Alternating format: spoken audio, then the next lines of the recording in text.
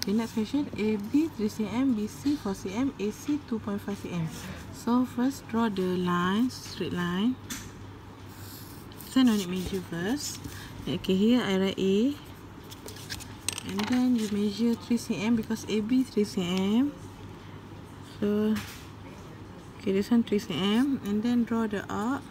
Put your compass at point A and then draw another arc. So this one your B. Okay, this one B. Okay, and then from BC 4 cm, so you measure 4 cm, measure 4 cm, okay.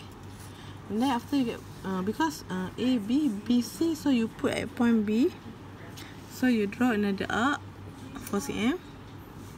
Okay, this one 4 cm, right? Okay, then uh, finish. Now you you measure AC 2.5, so put your compass at here. 2.5 okay like this. And then put at point A and draw another uh, okay.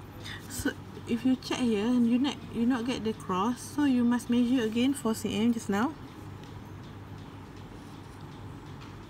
Okay put here 4 cm and then make sure you can get the cross. Okay. You can see the cross right?